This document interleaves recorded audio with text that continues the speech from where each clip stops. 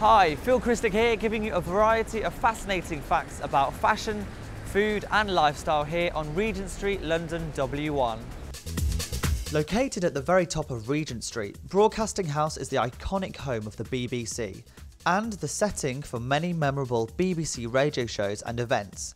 Built in 1932, Broadcasting House was the UK's first ever purpose built broadcasting centre and has developed through the years into a world leading broadcast facility. And that's Phil's fact for today.